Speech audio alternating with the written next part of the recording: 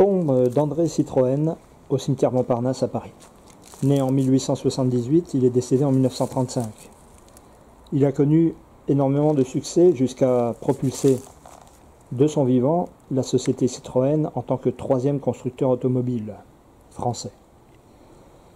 Il a notamment lancé la célèbre traction avant en 1934, mais il est décédé juste avant la sortie de la mythique deux chevaux.